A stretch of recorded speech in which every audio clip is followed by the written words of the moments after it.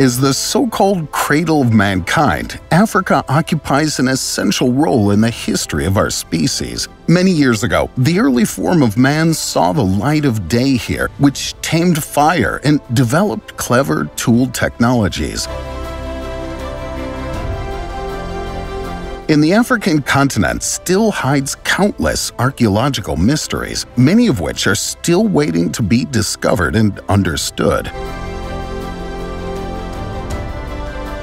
Before we get started, be sure to hit that like button and ring the notification bell for more videos. Together with you, we want to take a look at several extremely unusual finds that regularly cause heated debates in the ranks of the experts.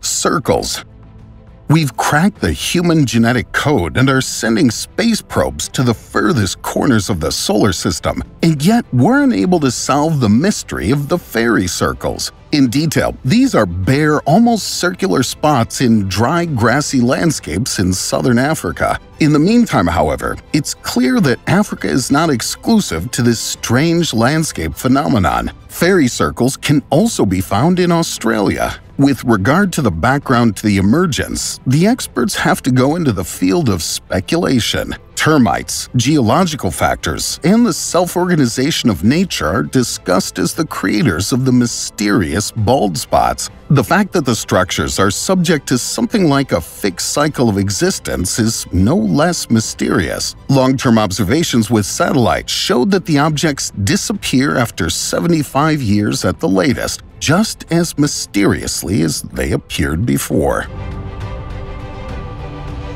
Child of Taung it's well known today that Africa is considered the cradle of mankind, but it was not always so. When the so-called Taung child was discovered in South Africa in 1924, a deep shock ran through the ranks of conservative experts. As the oldest fossil of a human ancestor at the time, the sensational find confirmed a hypothesis previously put forward by Charles Darwin – modern humans come from Africa.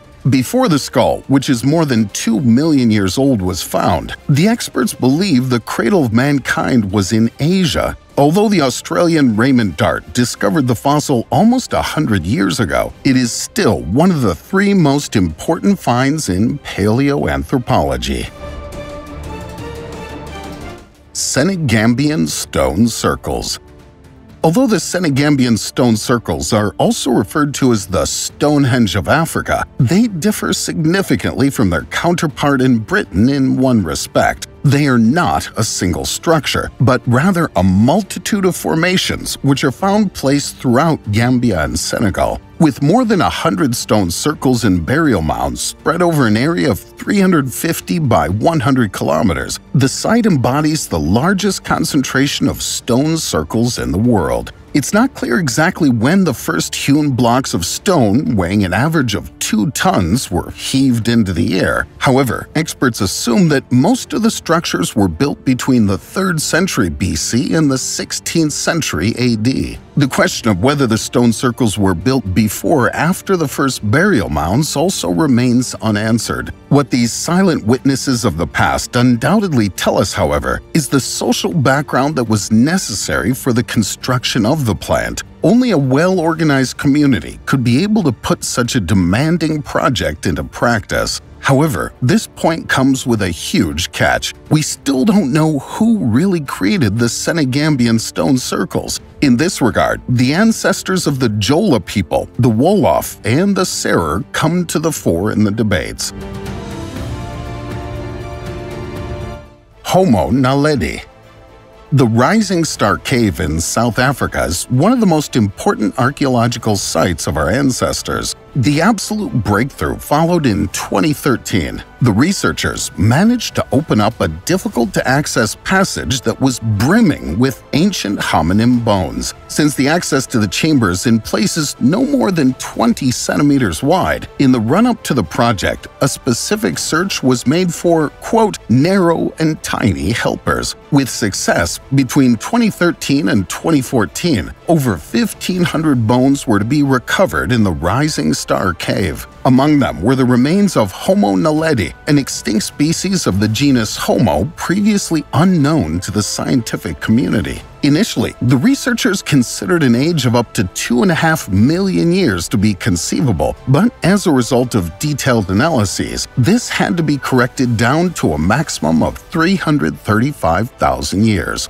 The fossils show that Homo naledi was about 1.5 meters tall and weighed between 40 and 55 kilograms. Since the finger bones were relatively long and strongly curved, it's reasonable to conclude that this species was an excellent climber. In the same breath, the arrangement of the hand bones suggests that Homo naledi might have also been able to make and use stone tools. Why the mortal remains were recovered in the difficult-to-access cave chamber is uncertain. The investigations suggest that the passage was not inhabited, but individuals may have deliberately entered the chamber to deposit their dead. If this is correct, we would have to reconsider our current view of history. Until now, the burial of the dead was only attributed to modern humans and Neanderthals. Skystone to this day, we're still puzzled over the true background of the Sky Stone. However, if one follows an old legend from the local population, the matter is clear. Originally, the bright blue objects were inhabitants of the sky. Because these aroused the wrath of God, they were turned into stones and smashed to the ground. After Angelo Pittoni came across the strange structure in Sierra Leone in the early 90s, it should arouse the interest of many international scientists. Material analysis showed that the heavenly stone is composed of 77% oxygen and 20% carbon and lime. The unusual nature of the object suggests that it is indeed extraterrestrial in origin, having arrived on Earth between 2,500 and 17,000 years ago. Over time, parts of the Sky Stone have come into the possession of various collectors who consider their mysterious treasures to be extremely valuable. Klerksdorp Spheres the hotly debated question that's arisen since the discovery of the ancient Klerksdorp spheres can be summarized as follows. Are they natural formations or artificial artifacts? If the latter is the case, a few more questions would have to be clarified because the objects are actually around 3 billion years old. So, who could have made them? The fact that we could actually be dealing with the relics of an unknown species is justified by the round shape, the hardness, and the surrounding lines. Discovered in some South African mines, some bullets contain a soft substance that crumbles to dust immediately when the outside is broken open. Even NASA is said to have admitted that the production of such perfect objects was only possible in zero gravity. So, are we dealing with the work of extraterrestrials that landed on Earth billions of years ago? What do you think? Tell us your thoughts on this in the comments below. Bird of Saqqara it's 1898 when a most unusual artifact is unearthed in the ancient Egyptian necropolis of Saqqara. At first glance, the wooden object is reminiscent of a classic bird, but the strikingly straight wings have striking similarities with the wings of an airplane. As a result, the bird is still interpreted by some people as an ancient model aircraft, an assumption that, as is well known, is in stark contradiction to our conventional view of history, according to which the ancient Egyptians never took to the skies. Various experiments were carried out to check the artifact's airworthiness. However, the test runs did not produce a clear result. In some passages, the replica is said to have floated several meters through the air. The flight tests with motorized models were also very successful. Other researchers were far less fortunate. Their constructions fell to the ground like stones. But even apart from the airplane theory, the original function of the bird bird is unclear. The corresponding hypotheses range from a child's toy to the masthead of a sacred boat to a boomerang.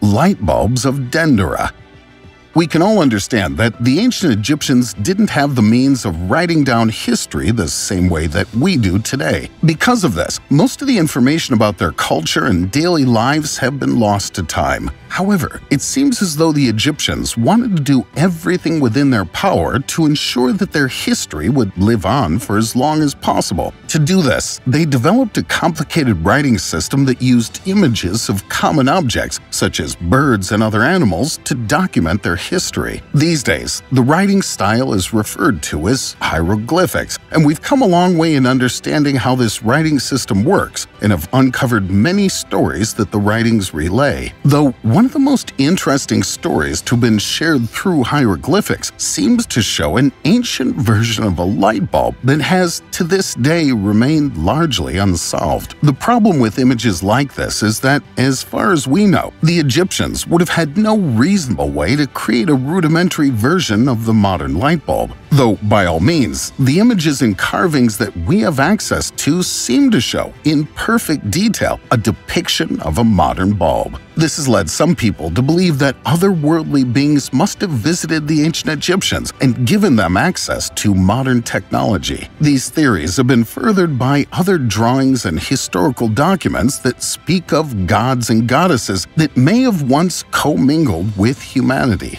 As far as we can tell, there is no definitive evidence of these, and many of these stories seem to be nothing more than hearsay, but we can't be so sure. This is because, according to researchers, the temple in which these carvings were found showed no evidence of soot on the walls or ceiling. This means that torches would not have been used in this area, or if they were, they would not have been used very frequently. So, if this is the case, how would visitors have been able to see the rooms surrounding them unless they had access to some alternative form of light, possibly a light bulb. For now, we don't know for sure what these drawings could mean. After all, the drawings could depict an everyday object that would have been very common during ancient Egyptian times. In the years since, this object could have been lost to history and may have merely resembled a light bulb rather than being a viable light source for the Egyptians. Hopefully, as time passes on, we'll learn more about these drawings and what they truly predict. Though, for the moment, we can't help but wonder if the ancient Egyptians may have had access to some ancient version of the modern light bulb. What makes this discovery even more interesting is that in recent years, researchers have learned that the pyramids may have been able to harness the power of electromagnetic energy. The shape of the pyramids allegedly may be able to harness certain forces of allowing the ancient Egyptians to have access to certain powers that, even these days, we are not able to harness. This theory has grown so far that certain Russian research departments have begun reconstructing models of the pyramids. In their research, they've learned that, yes, the shape of the pyramids may have truly been able to reflect electromagnetic waves, potentially allowing the Egyptians to harness this energy. Whether or not they would have been able to use this energy to power things such as ancient light bulbs is an entirely different story, but it's certainly interesting to think about. Eye of the Sahara a huge meteorite crater, the result of erosion or the remains of the legendary Atlantis. The background of the enigmatic Eye of the Sahara has always caused the most adventurous speculation. This is mainly due to the fact that the history of the structure's origins has still not been fully deciphered. What is certain is that the ring-like structure lies in a Saharan section of Mauritania with low ring walls measuring an impressive 45 kilometers in diameter diameter. In fact, the Eye of the Sahara is so massive that it can even be seen from space. For this reason, the object has been used several times by astronauts as a landmark. How did the Eye of the Sahara come about? The enigmatic geological structure that's located in Mauritania has posed many questions for experts over the course of countless decades. At first, the researchers suspected that the Eye of the Sahara, which is also known as the Richat structure, was created as a result of a meteorite impact. However, the fact that no impact rocks were found at the alleged collision point speaks against this thesis. Other theories are based on the assumption that the Eye of the Sahara was formed due to volcanic explosions. Added to this is the idea that the enigmatic structure resulted from natural erosion. In fact, the landscape structure is so large that it can even be seen from space.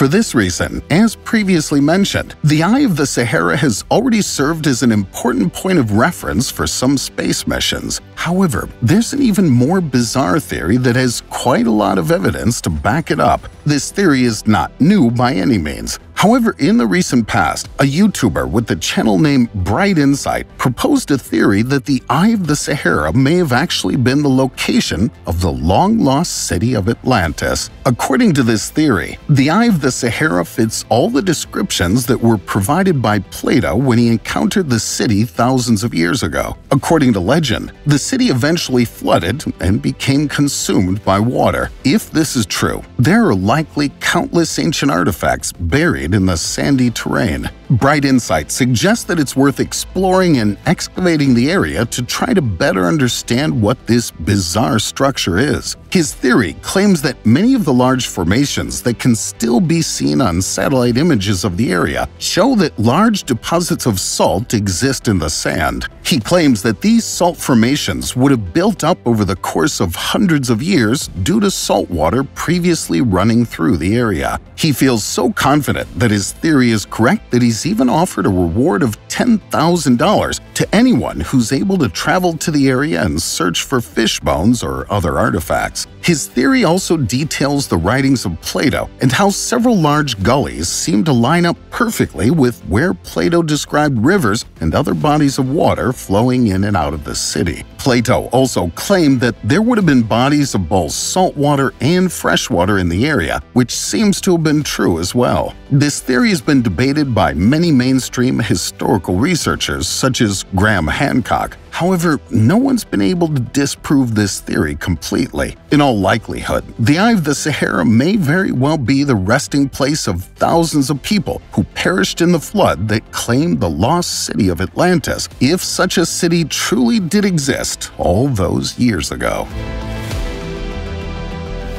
The Lost City of Aten if we were to look back around 3,400 years in human history, we'd be able to see the ancient Egyptian city of Aten. This town would have been located about 5 kilometers from Luxor. The town was named after the Egyptian sun god who shared the same name. At least, that's what we've gathered from historical records that have managed to stand the test of time. For countless years, this city was believed to have been lost to time. However, in 2020, researchers managed to finally clear out the ruins of the town so that we can get a much closer look at what life would have been like all those years ago, and possibly even solve some ancient Egyptian mysteries. We don't know much about the town for certain, but we have reason to believe that the town may have, at some point, been the largest metropolis in all of ancient Egypt. We have evidence that suggests that the town would have been at the forefront of Egyptian culture, standing as a town where trading would have taken place, as well as countless other acts of business. By all means, Aten would have been the epicenter for nearly every important deal that took place in ancient Egypt and would have likely been the most important economic and administrative town at the time. When the town was built, ancient Egypt would have been in its prime. The discovery and research surrounding this town have shed a lot of light on Egyptian culture, but the discovery has also provided us with many more questions than answers. Researchers are hopeful that as they continue to uncover uncover new information about the town, they may learn more about ancient Egyptian rulers. For example, we'd love to learn more about Akhenaten and Nefertiti, as well as their strange and seemingly random decision to move to Tel el Amarna. Since we know that Aten would have been dissolved around the same time, there may be information here that could help us understand what truly happened during that time and what eventually led to the downfall of Aten